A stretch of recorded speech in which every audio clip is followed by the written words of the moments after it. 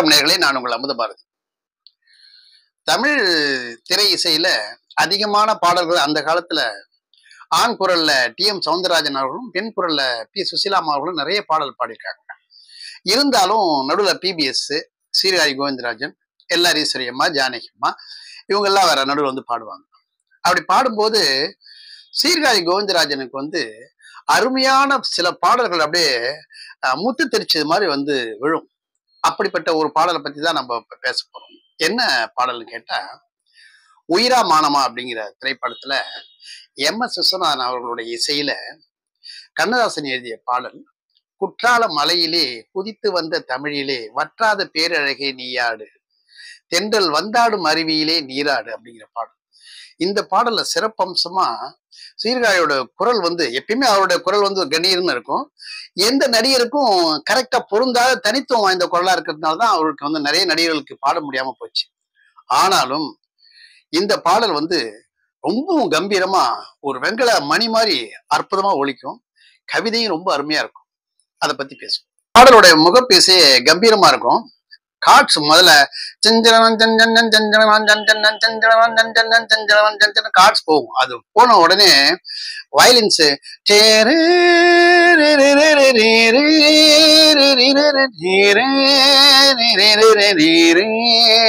அந்த வயலின் முடிஞ்ச உடனே அக்காடையில அது முடிஞ்ச உடனே அதே அப்படியே ஃப்ளூட்ல அந்த வயலின் அது ஃப்ளூட் முடிஞ்ச உடனே கம்பீரமா அந்த சீரியாய் கோவிந்தாஜோட குரல் வரும் பாருங்க குற்றால மலையிலே குதித்து வந்த தமிழிலே வற்றாத பேரழகே நீயாடு தென்றல் வந்தாடும் அருவியிலே நீராடு. குற்றால மலையிலே குதித்து வந்த தமிழிலே வற்றாத பேரழகே நீயாடு தென்றல் வந்தாடும் அருவியிலே நீராடு. காவியத்தில் ஒரு மகளே ஓவியத்தின் திருமகளே காவியத்தில் ஒரு மகளே ஓவியத்தின் திருமகளே சோவியத்தின் பெருமகளே நீயாடு எங்கள் சொந்த தமிழ் மருமகளே நீயாடு. குற்றால மலையிலே குதித்து வந்த தமிழிலே வற்றாத பேரழகே நீயாடு. தென்றல் வந்தாடும் அருவியிலே நீராடு. அப்படி ஒரு வெங்கல குரல் குரல்ல அவர் பாடினோடனே இந்த பாட்டுக்கு ஒரு மிகப்பெரிய ஒரு ஓப்பனிங் கிடைக்கும். அதை கேட்கும் போதே பளிச்சுன்னு இருக்கும். என்னடா மத்த சிங்கர்லாம் டிஎம்எஸ் உட்பட இந்த பாட்டுல என்னால இந்த குரல் இப்படி இருக்கு அப்படின்னு பார்க்க ஆரம்பிச்சிட்டாங்க. இந்த பிஜிஎம்ல ஒரு ஹம்மிங் வேற வரும் ரிதம் வேற வரும். அதெல்லாம் சேர்ந்து ஒரு அற்புதமான ஒரு ஒரு படைப்பா இருக்கும். அந்த பாட்டுக்கு மிகப்பெரிய பக்கபலமா இருக்கும் இந்த பிஜிஎம் எப்பயுமே எம்எஸ்வி வந்து கே மகாதனை எங்க பீட் பண்ணுவார்னா அந்த பிஜிஎம்ல அடிச்சிருவாரு. பீஜம்ல வெரைட்டி வெரைட்டி அவர் கொடுப்பாரு. கேவிஎம் வந்து கே மகாதேவன் வந்து டியூன்ல தான் ஸ்ட்ராங்கா இருப்பாரு. பிஜிஎம் ரிப்பீட் ஆயிட்டே இருக்கும். ஆனா எம்எஸ்சியோட கேட்டகரி வந்து இன்ஸ்ட்ருமெண்டேஷன்ல பிரமாவா பண்ணுவாரு. எப்படி இருக்குன்னா செஞ்சனன் செஞ்சனன் செஞ்சனன் செஞ்சனன் செஞ்சனன் செஞ்சனன் செஞ்சனன் செஞ்சனன் அந்த கார்டு போகும். அது முடிஞ்ச உடனே எல்லாரும் விடும் ஹம்மிங் வரும் பாருங்க இந்த பாட்டுல வந்த மாதிரி வேற எதுல எவ்வளவு ஜிலீர்னு அப்படியே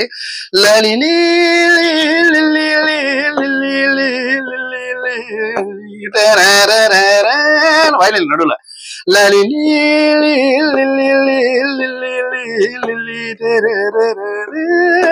அது முடிஞ்ச ஒரு ரிதம் தனியா ஒண்ணு பண்ணுவோம் அது மேல அப்படியே சாக்ஸபோன்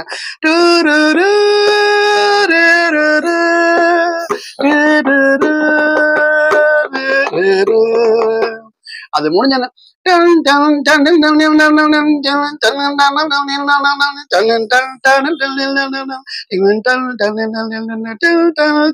அந்த லீடு வரைக்கும் வரும் அதுக்கப்புறம் சரண ஆரம்பிக்கும் நீங்கள் எமக்களித்த நெய்வேலி பெருமை கண்டு நீங்கள் எமக்களித்த நெய்வேலி பெருமை கண்டு நாங்கள் உமக்களிக்கும் நன்றியே என்னை நானே உனக்களித்தேன் செல்வமே. என்னை நானே உனக்களித்தேன் செல்வமே.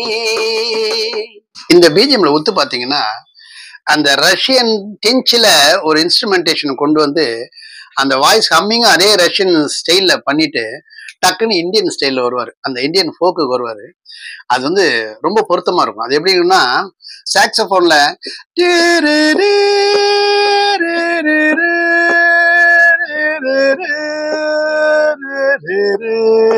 அப்படி போவோம் அது போல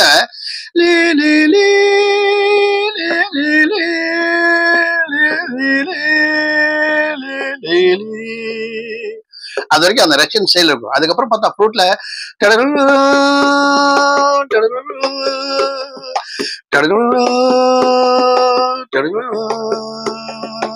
அது முடிஞ்சோடனே அடுத்த சரணம் வரும் தென்கோடி தூத்துக்குடி இருக்கும் துறைமுகத்தால் தென்கோடி தூத்துக்குடி இருக்கும் துறைமுகத்தால் பொன்கோடி குவிக்கும் எங்கள் தாயகமே செல்வ பூந்தோட்டமாகும் எங்கள் தமிழகமே லலிலே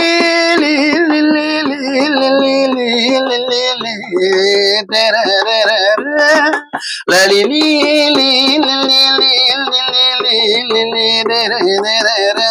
இந்த பாட்டு என்ன சிறப்பு சொன்னா சரணம் முடிஞ்சுனா பல்லவி வராது. நடுவில் ஹம்மிங்கு அந்த பிஜிஎம் இப்படியே வந்து வந்து சொல்ல வந்த விஷயத்த கரெக்டா கொண்டு போவாங்க.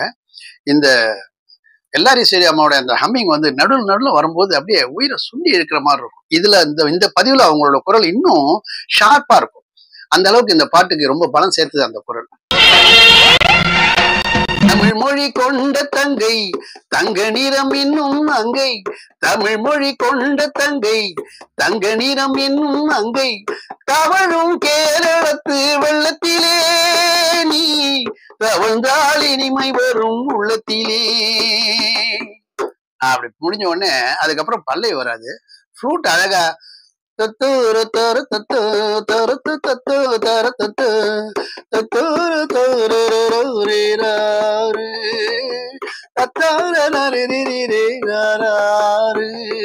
அப்படின்னு ஒரு வித்தியாசமான அந்த பாடல் இந்த பாடல சாணம் முடிஞ்சின பள்ளையும் சாணம் முடிஞ்சின பல்லையும் வராம சொல்ல வந்த விஷயத்த அழகா சொல்லியிருப்பாங்க இதுல கவிஞரோட விஷயத்த பாருங்க ஒரு ரஷ்யால இருக்கிற ஒரு பெண்ணை வந்து ரஷ்யால படிக்க போன பையன் முத்துராமன் வந்து அங்க ரஷ்யால இருக்கிற பொண்ணை காதலிச்சு கல்யாணமே பண்ணிட்டு வந்துடுறாரு. அங்க ஒரு பதிவு பண்ணிட்டு வந்துடுறாரு. இங்க வந்துடுறாரு. அவங்கள சேக சே சேர்த்து வைக்க வேண்டிய பொறுப்பை வந்து டி கே பகவதி ஆஹ், ஏத்துக்கிறாரு. அவருடைய அண்ணன் எதிர்ப்பு தெரிவிக்கிறார் நம்பியார். இருந்தாலும் இவங்க வாழ்க்கை நல்லா இருக்கணும்னு அவங்க முடிவு பண்றாங்க. அண்ணா வந்து பணத்தை கொடுத்து டூர் போயிட்டு வாடா அப்படின்னு சொல்லும்போது இவங்க நெய்வேலி குற்றாலம் இங்கெல்லாம் போற மாதிரி காட்சி இருக்கும். அந்த காலத்துல சோவியத் ரஷ்யாவுடைய கூட்டமைப்புல அவங்களுடைய ஒருங்கிணைப்புல நெய்வேலி மிகப்பெரிய ஒரு ப்ராஜெக்டா வந்துச்சு. அதே மாதிரி தூத்துக்குடி துறைமுகமும் அப்போ ரொம்ப பிரபல்யமா வந்துச்சு. நல்ல மிகப்பெரிய துறைமுகமா வளர்ந்துச்சு. இந்த ரஷ்ய பெண்ணை பாட்டுல வைக்கணும் போது ரஷ்ய பெண் அப்படின்னு வைக்க முடியாது. ஆனா கண்ணாசன் பாருங்க எப்படி பண்றாருன்னா காவியத்தில் ஒரு மகளே ஓவியத்தின் திருமகளே சோவியத்தின் பெருமகளே நீயாடுன்னு கொண்டு வந்துப்பாரு ரஷ்யான்னு சொல்லாம சோவியத்துன்னு கொள்ளும்போது அது ஒரு தமிழ் மாதிரி இருக்குது. அந்த காவியம் ஓவியம் சோவியம் அப்படி கொண்டாந்து அழகா வச்சான் பாத்தீங்களா? அது வந்து தமிழுக்கு வந்து மிகப்பெரிய சிறப்பு. இந்த எல்லாரீஸ்வரி அம்மா கொடுத்த ஹம்மிங் மிகப்பெரிய சிறப்பு. நடுவில் ரிதம் பேட்டர்ன் தனியா வச்சு அந்த ஆர்கஸ்ட்ரேஷன் மிக பிரமாமா அமைச்சார் பாருங்க. அதுவும் மிகப்பெரிய சிறப்பு. எல்லாத்தையோட வெங்கல குரல்ல சீரியாய் கோவிந்தராஜன் வித்தியாசமா பாடியிருக்க இந்த பாடல் ரொம்ப அற்புதமான சிறப்பு. அந்த பாட்டை கேளுங்க. குற்றால மலையிலே வந்த தமிழிலே. காட்சியை பொறுத்த வரைக்கும் முத்துராமனும் அந்த ரஷ்ய பெண்ணா இருக்கிற அந்த கிருஷ்ணகுமாரி அவங்க ரெண்டு பேரும் முதல்ல ஒரு மொட்டை மாடியிலேருந்து அப்படியே மலைகளை பார்ப்பாங்க அப்படியே குற்றாலத்தை போய் குளிப்பாங்க. அப்படி குளிச்சுட்டு வந்த ஒருபாடு ஆஹ், நெய்வேலியோட மெயின் என்ட்ரன்ஸை காட்டுவாங்க. அதுல வந்து கருங்கல் இதுல வந்து செதுக்கியிருப்பாங்க. இந்த மாதிரி சோவியத்தோடைய கூட்டமைப்புல வந்து இந்தியாவும் சேர்ந்து பண்ணது அப்படிங்கிற விஷயம் அதையும் ரொம்ப ஃபோக்கஸ் பண்ணி காட்டுவாங்க.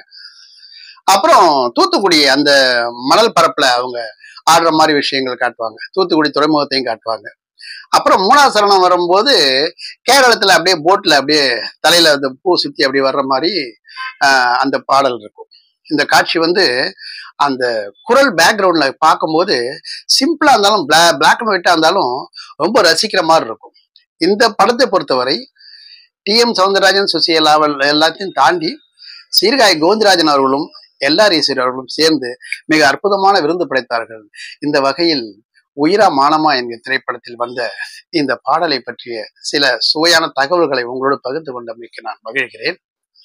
மீண்டும் வேறொரு காணொளியில் உங்களை சந்திக்கும் வரை உங்களிடமிருந்து விடைபெறுவது அலையோசை அமுத பாரதி நன்றி வணக்கம்.